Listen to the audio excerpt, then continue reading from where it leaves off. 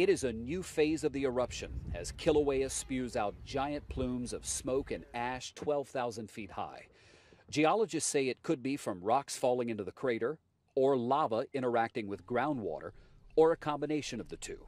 Scientists say this is not the big one they were predicting, but this was relieving some pressure on Kilauea.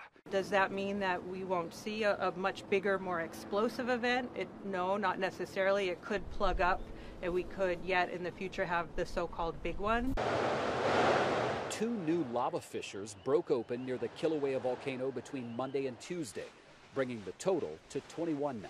We're monitoring them to see if they're going to grow in size. There's a lot of sulfur dioxide coming out of many of the fissures. It is just so devastating. Scott Wiggers lives in Leilani Estates. His home was spared, but he ignored evacuation orders for a mission to document the devastation for his neighbors who are desperate to know if they have a home to come back to. What descriptive words would you use to describe what is happening in your neighborhood? It's awesome, it's powerful, it's beautiful, it's uh, disgusting, it's devastating, it's uh, any adjective that you can think of. That's what it is. If you live in the area like Scott does, or you're planning to travel here on vacation, two pieces of advice. This N95 mask is going to protect you from that ash. Now, officials say the ash is not toxic, but the mask is going to help with the particles.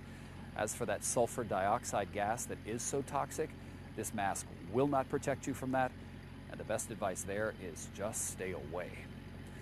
David Begnaud, CBS News, Pahoa, Hawaii.